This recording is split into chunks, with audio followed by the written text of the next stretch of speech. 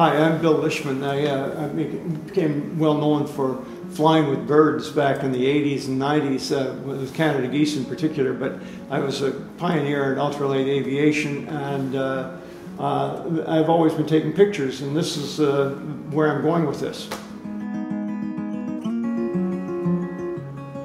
This is about the Oak Ridge Moraine.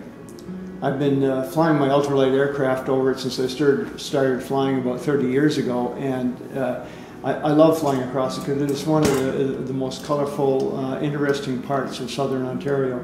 Uh, it is actually also one of the most important geological parts of, southern Ontario because it's where all of the water for uh, the aquifers in southern Ontario recharge. And, uh, but there's many more things to it. It was formed when two, uh, uh, two arms of a glacier came together and kind of squeezed up all this gravel and sand and stuff that had been scraped down from the great north uh, into, in, into this ridge that, that, that runs from the south of Rice Lake across to the Caledon Hills.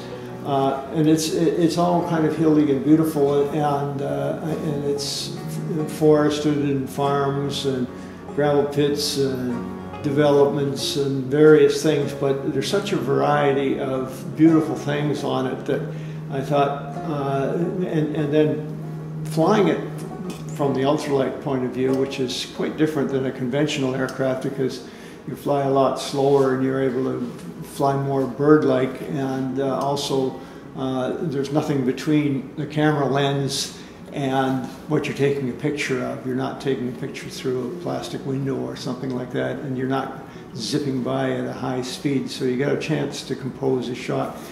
And uh, so uh, I, I, I'd taken a number of these pictures and I brought them back and showed them to friends, and they all were quite dazzled by them, and I thought, uh, why not put them in a book? Because uh, it, it, it, would be wonderful. Uh, you know, you don't have to get up in the air. You can just sit down and uh, you don't have to turn on a machine. Just have a just have a book that you can have some of these images. And so I've uh, you know over the years I've done probably uh, a couple thousand images, and so I've taken the best couple of hundred of them and I put them together in, in a book. And uh, this is just a prototype to see how it, how it will work out. It's not the full book, but uh, the, it, the, the, the, final book will be similar to this, a little bit a little bit smaller. Uh, and, um, and, and uh, uh, there's really an importance to it because the Oak Ridge Moraine is so important and uh, we need to protect it. We need to keep it uh, um, preserved for future generations. And so this is a book really in celebration of the Oak Ridge Moraine.